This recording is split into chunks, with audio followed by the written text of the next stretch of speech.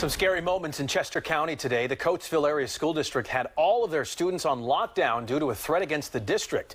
It happened around noon today, and Skyfox was over the scene. Now, the lockdown was lifted about 45 minutes later after nothing suspicious was found in the schools. Police are investigating at this hour.